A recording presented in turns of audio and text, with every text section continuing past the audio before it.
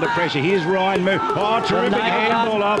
He gave it off. Now can go for a goal and kicks it. Head over the footy is Lionel Ogden. Couldn't get to it. Ryan Move onto the oh. loose footy. Gave it off to his teammate and Parfitt. A couple of young guns. goes for goal and A couple of young guns combined. Now starts his journey from inside 50. He's in the pocket. And he swings it. Oh, that looked like it was going to miss everything. I thought I was going out of bounds on the full when it come off the boot. Ball on the ground. Good tackle.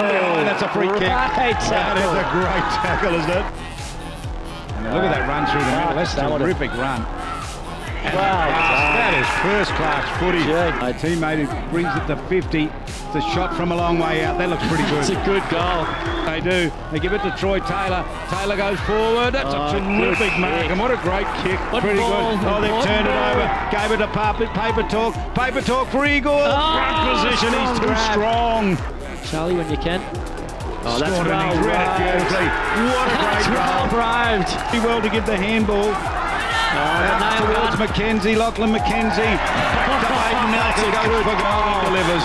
Towards the forward line, they got front position, ball knocked to ground here.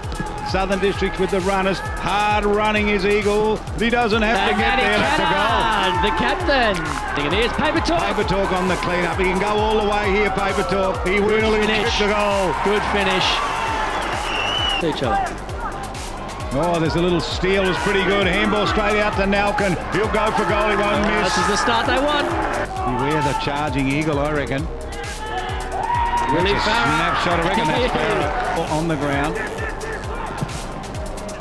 That's that outside the boot kick, Yeah, isn't it? and he's shown Gibbo how to do it.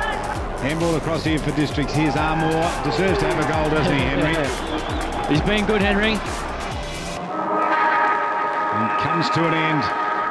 Gee, it was an agonising game of footy for the Tigers. One point better and their last supporters feel it. 81 points the margin. They trail by seven points, and there's another shot on goal. Chris Dunn from the clearance. That's his specialty. He bangs one through. Kicking towards the middle of the ground. Davin Ferreira took the mark and hit the ground running. Kicked up to Chris Dunn, who took the mark at centre half forward. He already has three, and it's just the first term. Another long kick and another straight kick for Chris Dunn. He bangs through number four. Spearing pass. Don't tell me Chris Dunn's going to kick another one. This time he hands off. Joel Seaton runs in. Snapshot around the corner is another goal. In room.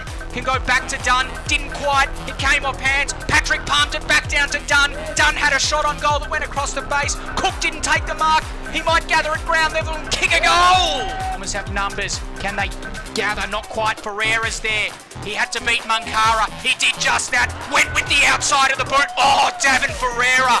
He's a rare talent, but he can really give his side a lift here. In comes Liddy to reduce the margin. He sets sail from 48 metres out.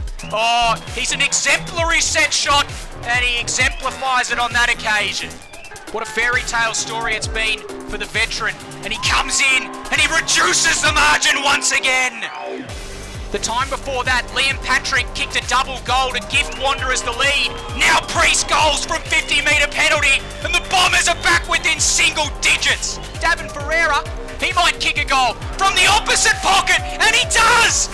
Adam Cook, a goal in the first, a goal in the second, but none more important kicks this, you could just about say the Eagles are home. Hands off to Daniel Motlop, who goes bang! And he may have just won the game for the Eagles. Daniel Motlop floats forward and kicks an important goal. The Eagles are out to a four goal advantage.